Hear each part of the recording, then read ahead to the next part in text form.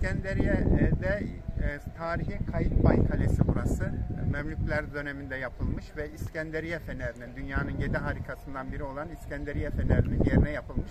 İskenderiye e, Feneri Firavunlar dönemi sonrasında bayı alan Helenistik dönemde Yunanlılar tarafından Batlamyus e, devler tarafından inşa edilmiş ve yüzyıllarca Akdeniz e, ticaretini yönlendirmiş.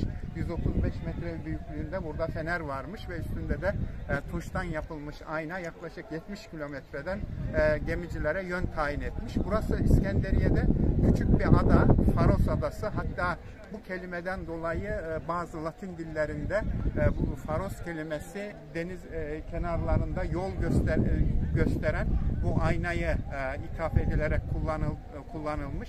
Mısır, modern Mısır Devleti tarafından 1984'te restore ediliyor ve e, turistlerin yoğun olarak geldiği bir yer ve dünyanın yedi harikası olarak bilinen İskenderiye Feneri'nin yerine yapılmış olan e, Kayıtbay Kalesi'ndeyiz.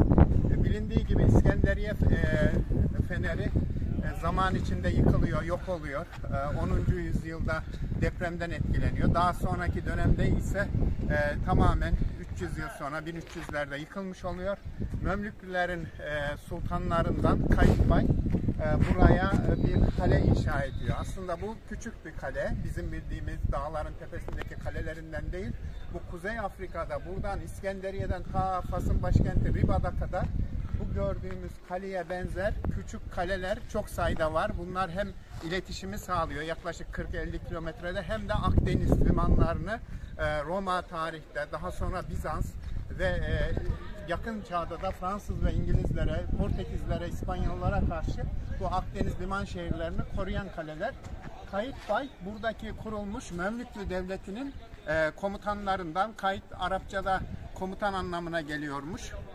Bay da bildiğimiz Türkçedeki e, bey e, anlamından geliyor. Yani komutan bey kalesi ve etrafında askerlerin bulunduğu müştemilatlar var. Bu odalarda askerler bulunuyor.